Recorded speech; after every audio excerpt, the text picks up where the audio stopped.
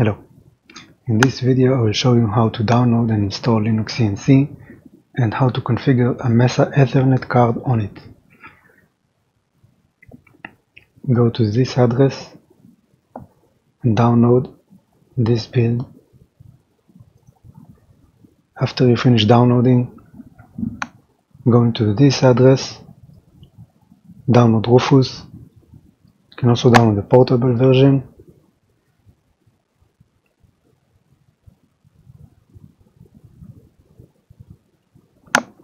After that open Rufus, select your device, then select the ISO you need.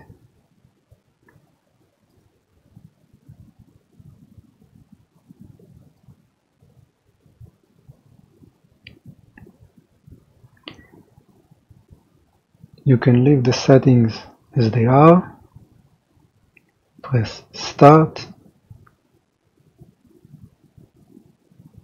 use this one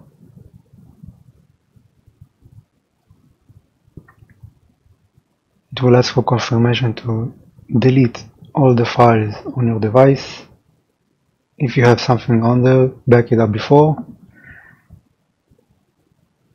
Press OK. And will burn the image onto the USB device. If you want to play around with Linux CNC Live and keep your settings and files saved, you can use the persistent partition size. The bigger the partition size is, the longer it's going to take to burn to the USB. So take that into account. After it finished, you can close Rufus and switch over to your machine you want to install it on.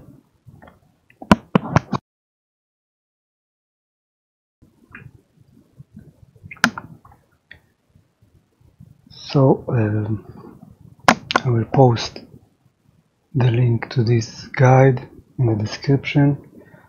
Just follow it. I'm going to go through it quickly. Right click on the network manager above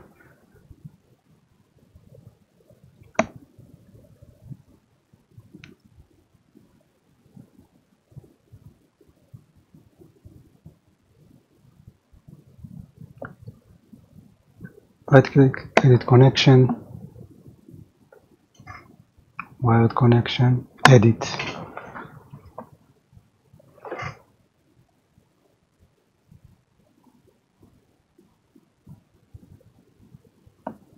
And just follow the guide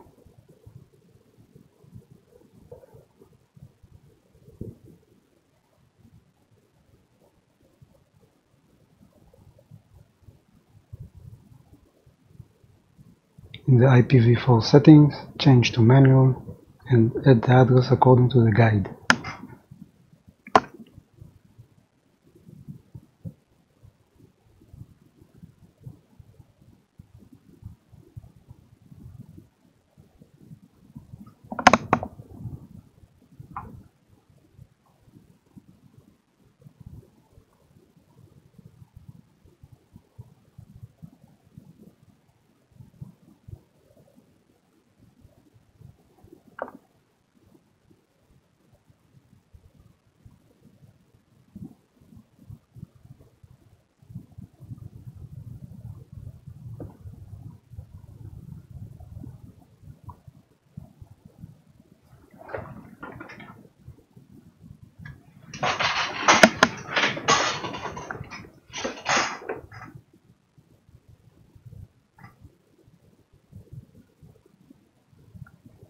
Right here I forgot to change setting in the routes menu. I will come back to it in a minute.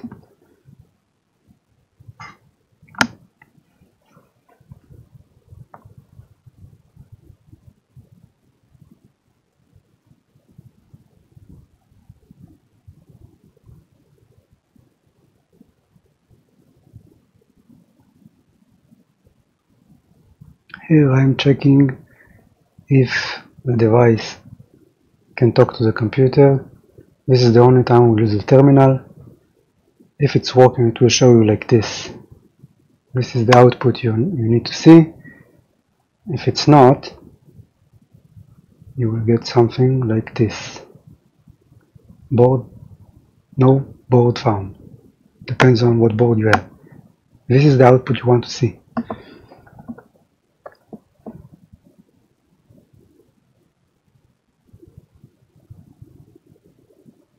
now we can go and configure the Ethernet Mesa card in PNC configuration. But we need to update it for a reason I will show you in a minute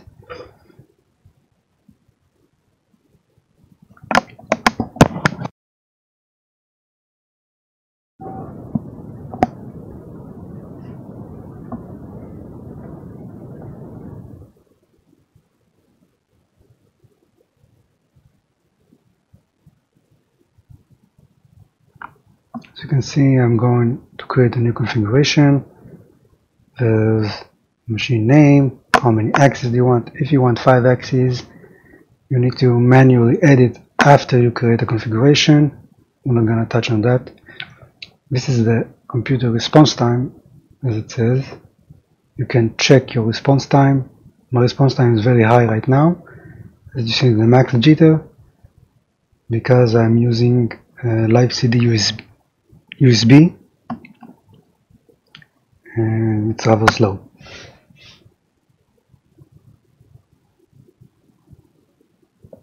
This is some of the machine options, panels, not really relevant because we can't do anything. As you can see in this menu, we don't have any Ethernet connections or cards, nothing. We will need to update Linux CNC before we can continue.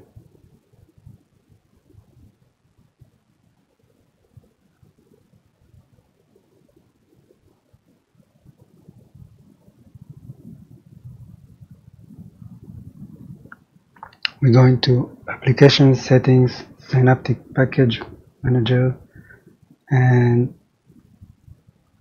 as you can see we need to change this repository just type master instead of 2.7 click OK.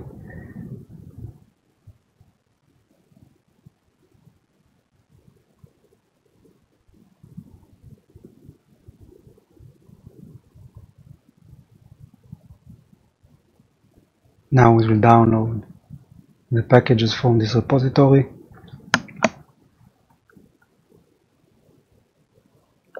Now I, I told you I forgot to do something earlier in the network manager.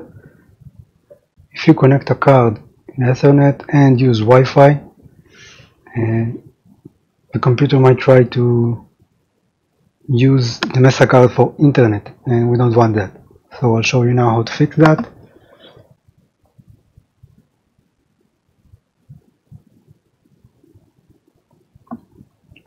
In the guide I posted, this is also written and I just forgot to do it.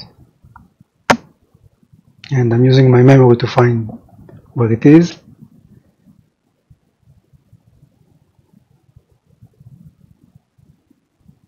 And I found it. This is the option you want to tick. IPv4 settings routes check the little box there's this connection. Okay save, close, and we're done.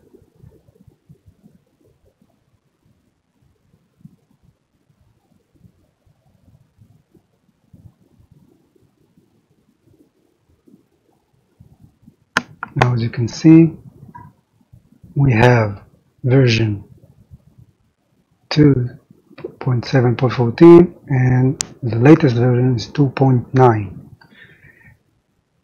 this is the version we want.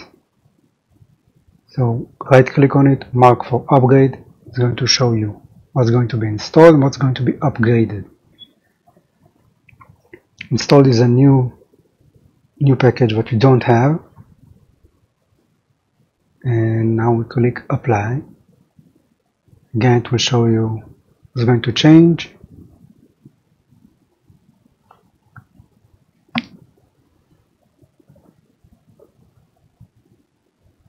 and now it's going to download.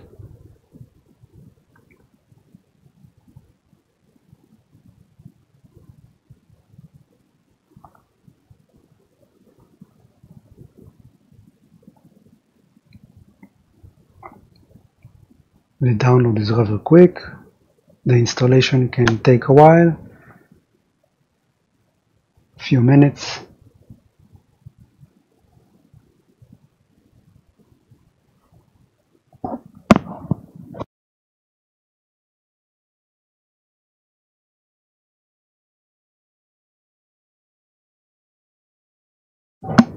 I'm going to cut the video so you don't have to watch all of it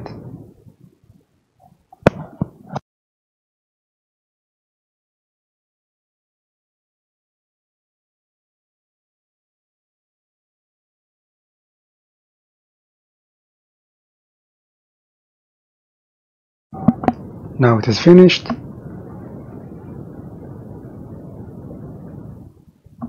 And we can close the Synaptic Package Manager.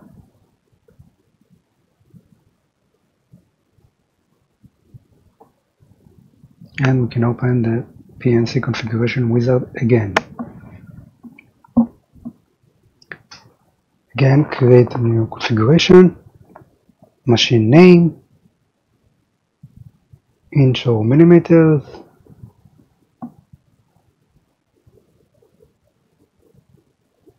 now the options down below. Some of them you want to leave some of them you want to disa disable. All depends on what you want to do.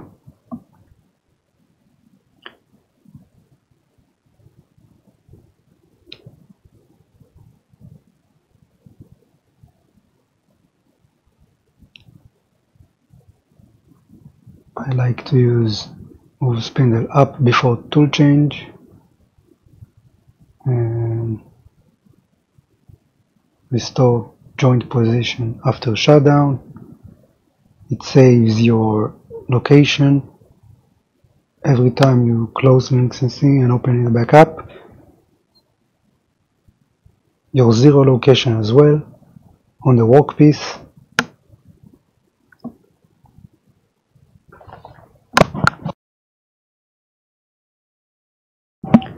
this option you don't want to use.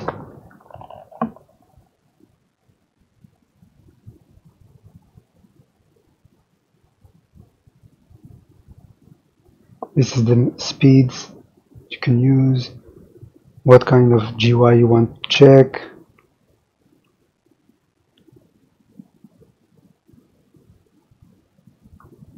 You have all sorts of GUI, graphical user interface.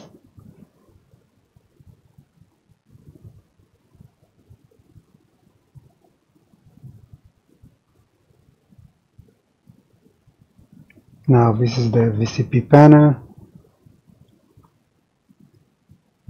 There's, uh, you can build your own panel or you can use this existing program which doesn't do much but it's nice to see. I'm going to leave it there for now.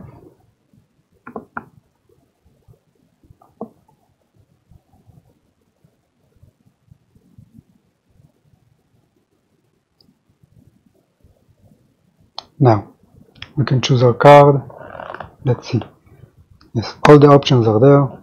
You can check the 7i76E because that's what I have.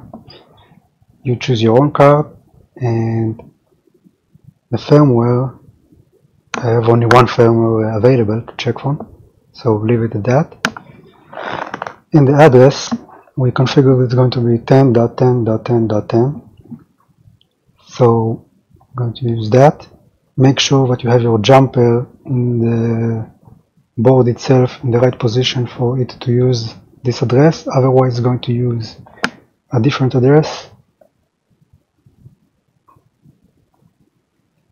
Now post accept changes and we'll go through the connectors. In this uh, screen you define the axis. I like this one to be the x-axis. Can choose whatever. I like it to be x. This one y. And the last one is z you had more axes you could use the other step generator. Now these connectors are inputs. Don't really use this. I haven't found a use for this screen yet. Now the last screen is the one we're very interested in. We have the TB6 and TB5 those are the inputs and analog inputs and outputs. And analog outputs you can use. This is where you connect homing switches and other relays for coolant or something in the TB4 you need to go and check the spindle output for it to talk to the spindle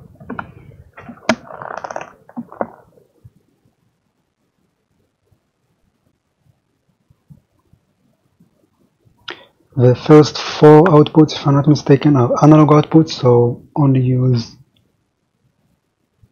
from the 4 or the 5th, depends on you want to read it, as your limit switches or homing switches. And here we can set the steps for the motor and there's a calculator there. You can just put in how much your lead screw pitch is, metric and inches and the micro stepping and you get a number that is very good. You can also use the ruler method but I don't like that. I like to use precision calculations and generally better.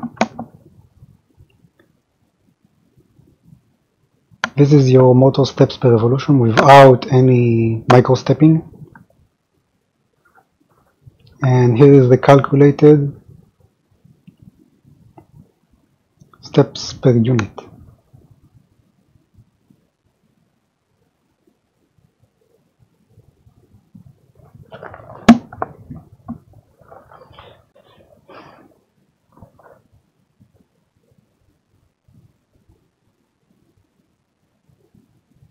Need to go and do that for all the all the motors. And you can invert the motor direction if you see it's going in the wrong direction. You can also press the test tune axis and do a test.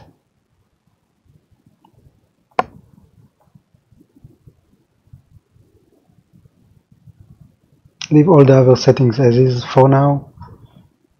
After that you can come back and change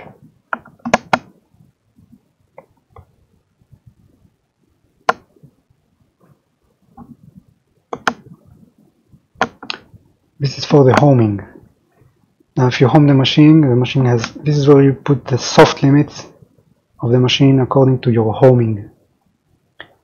For now I'm going to leave it at 200 and add 200 to the negative travel. Let's say you had a homing switch in the middle of the axis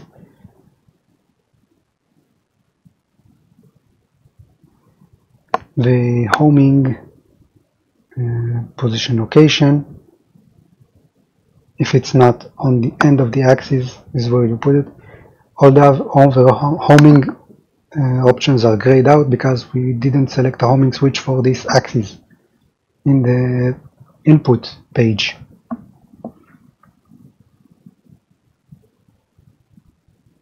You also have backlash if you need it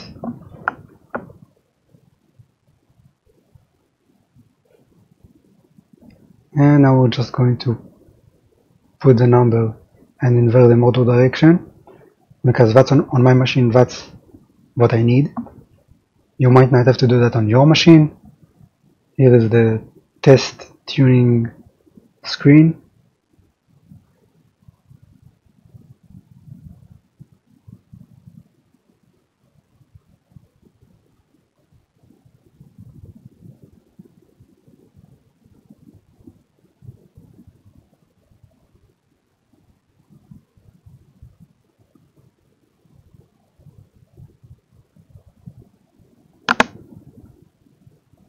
usually the z-axis doesn't move above its homing. You home it on the top of the axis and it can only go down from there. But for this purpose I did it like this. This is the output voltage for the spindle. Usually uh, spindles are VFD spindles take 0 to 10 vo volt and maybe some spinners use minus 10 to plus 10 I don't know. I don't need it so I'm leaving it at 10 volt and without the minus. So it will only go from 0 to 10 now this is the max RPM of the spindle. Mine is 24,000 so I'm just going to put that number in. You can also test it if you want can invert the motor direction all these options.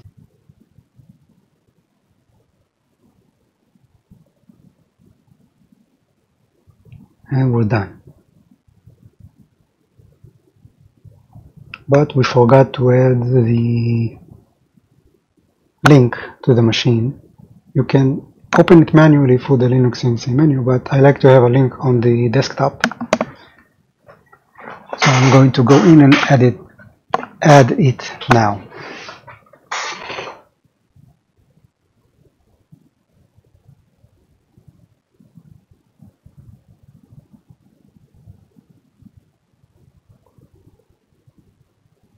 I'm just going to run for all the screens. Not really something important. Oh here because I checked spindle speed display and also if you will create your own panel and you go and edit your your configuration again it will try to replace it or delete it depends on what you use. So you want to check the existing custom program. It's also the same thing for the Glade VCP panel if you use that. So just make sure you check that option. Now I rushed through all of this because I didn't change anything. If you need to change anything, stay on it.